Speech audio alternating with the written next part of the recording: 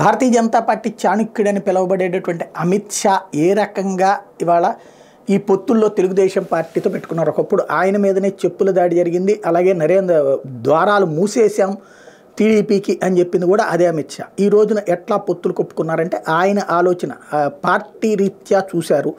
Especially ఏంటంటే భారతీయ Janata party ఇప్పుడు దేశంలో ఈవెన్ ఆయనకు కూడా అదే చెప్పారు. నితీష్ కుమార్కి కూడా ఇక ద్వారాలు లేవు మూసేసినట్టే అని చెప్పారు. మొన్నటిసారి జే వీళ్ళతో కలిసి ఆర్జేడీతో కలిసినప్పుడు. కాబట్టి ఇప్పుడు ద్వారాలు తెరిచే పని అంటే తాళం వేసేసినటువంటి అమిత్ షానే ఆ తాళాలు తీసి ఆహ్వానిస్తూ ఉన్నారు.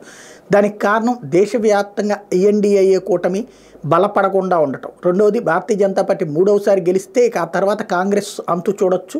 అప్పుడు ప్రాంతీయ పార్టీలకు సంబంధించినటువంటి ప్రణాళికలు వేసుకోవచ్చు అన్నటువంటి ప్రణాళికతోనే నడుస్తున్నారు.